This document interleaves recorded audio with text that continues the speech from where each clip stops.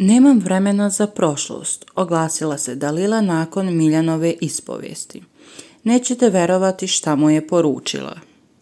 Miljan Vračević tokom svoje emotivne ispovesti i priči u kojoj je otkrio detalje o prijateljstvu sa Davidom Dragojevićem dotakao se i Dalile Dragojević, ali i sukoba sa njom, kao i njenom, njegovom učešću u zadruzi 5.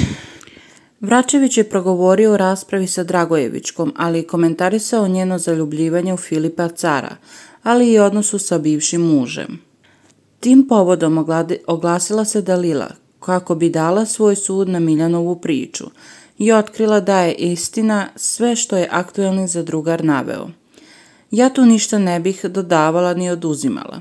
Vreme je najbolji pokazatelj svega, mada neke stvari koje su sada isplivale na površinu od strane mene su odavno rečene još u sezoni 5, a sada se samo potvrđuju. Vuk dlaku menja, ali čud nikada. Mislim, mislim da sam suviše rekla. Sada žurim, obaveze me čekaju i nemam vremena da se bakćem sa pričama iz prošlosti.